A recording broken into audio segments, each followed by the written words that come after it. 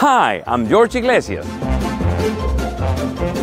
And today I present you the Candy Factory. Imagine a mysterious factory inside of a box.